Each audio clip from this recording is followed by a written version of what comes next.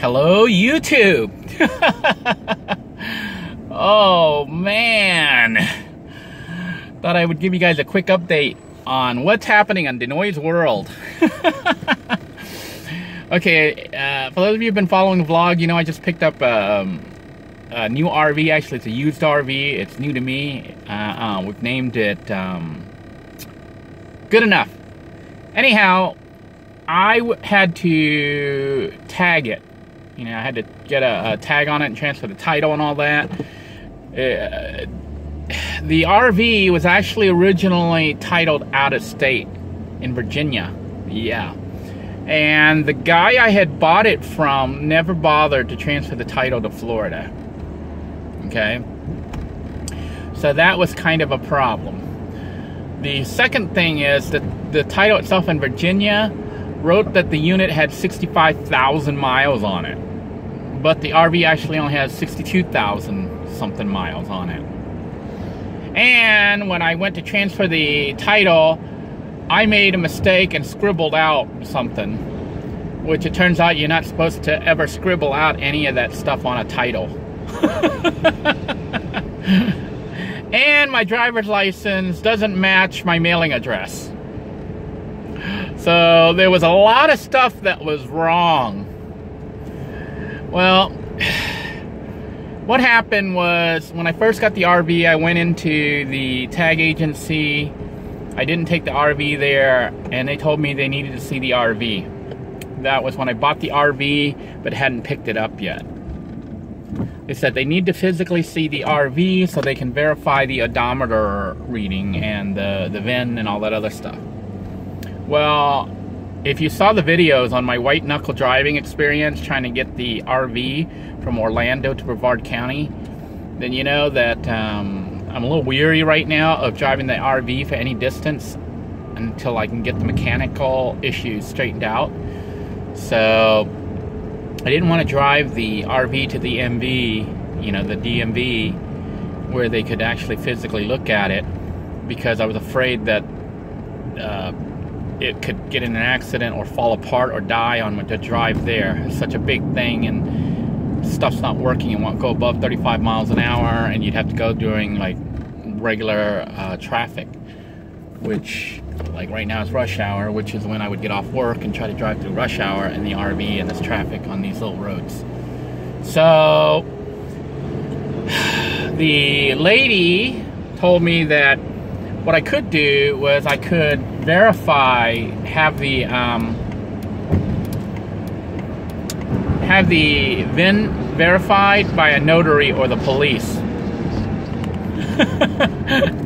and I didn't want to call the police to deal with the police because then they'd have to come and uh, check it out and deal with me and it could start a whole nother chain of events that I didn't really feel like getting into, you know. Um, so I decided to try the notary, and the problem was, how do you get a notary to look at your vehicle? You kind of have to take your vehicle to the notary. They're not going to hop in my car with me or follow me out to the RV to look at it.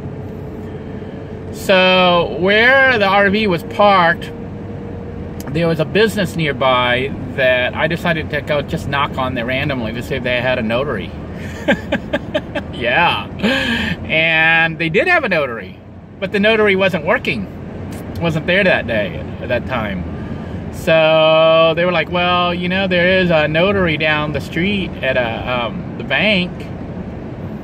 And I was like, man, I'm going to have to try to go to the bank and try to get the notary to do it. I'll even pay the money, whatever it costs to just have a notary step outside uh, verify the VIN number and record the information and stamp it. So I hopped in the RV and um, was prepared to have white knuckles again and drove it down the street, you know, a couple blocks to, to the, the, bank that um, the business had told me was there. And it turned out the bank was a credit union that was actually my credit union from like 10 years ago not 10 years ago, more like, more like about four years, five years ago. So, but I kind of dropped that credit union. I didn't really close the account, but I just never went back to it because what happened was when I went into arrears, it's a complicated story. When I went into arrears, the IRS levied the account and seized all money. So then I stopped putting money, deposits and stuff into that account, even though I never officially closed it. So I don't know if the bank has closed it or not. I don't know what the status is. And my address has changed about three or four times since uh, I had that bank account. But anyhow, I walk into the credit union and I pulled out my membership card. even though I wasn't sure if it was valid or not. But I was like flashing the card to make sure they all saw my card. You know, I was like, yeah, I'm a member. see, see my card? So I'm walking in there with the card. I go up to the um, one of the representatives sitting at the desk. I said, hey, I'm hoping you guys can, he says, can I help you here? And I says, yeah, I'm hoping you can help me. And I explained to him the situation with the RV and how I needed a notary to verify the VIN number and then, you know, stamp it and stuff so I could take it to the um, DMV and have them um, tag it and title it and everything for me. So then he wasn't sure they offered that service. so then uh, he called his boss or whatever, and they said, "Yeah, go ahead and do it for me." So I got him to go outside, and he verified the information, and then he wrote down the actual mileage. And I'm like, "Oh, great!" He wrote down the mileage, which is going to be less than what shows up on the um, the title. So that's going to be a potential snap snafu. so, anyhow, I get the stuff from him, thank him, and then I quickly return the RV back to the parking spot.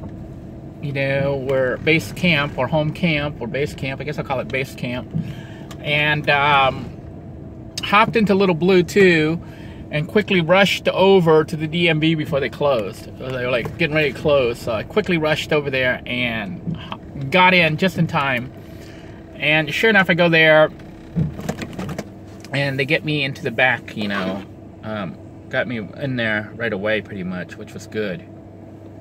Anyhow, I go back there, and the lady is looking at all the stuff and saying stuff's mismatching. I'm like, oh, great. She's like, you know, the title has all this scratched off stuff. You're not supposed to have a scratched off stuff. You have a bill of sale? And I say, I got the bill of sale. And she's like, well, you know, the um, the VIN number isn't clear on here. I was the one who wrote the VIN number, and I wrote it, but on the there was a B and an eight, and when I wrote it, you know how you do a B or an eight, and it looks like I was trying to make it look like a B, but it looked like an eight. So then I drew another line to make it look like a B, and then she considered that um, an altercation, saying that that was an issue, that was a problem.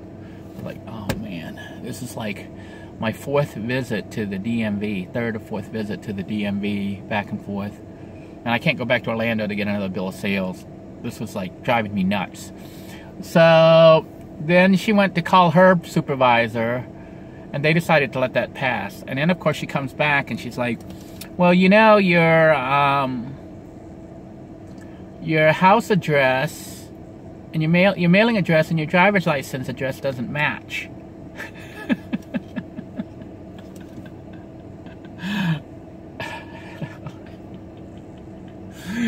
I'm like, well, can you just make the title out to the mailing address? Because that's where I get all my bills. That's where the um, insurance and everything comes.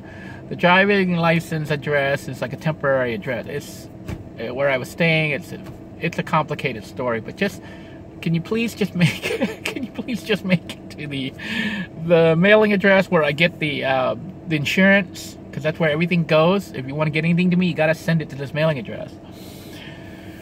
So she's like, okay, she'll go ahead and sneak it by and just let it go.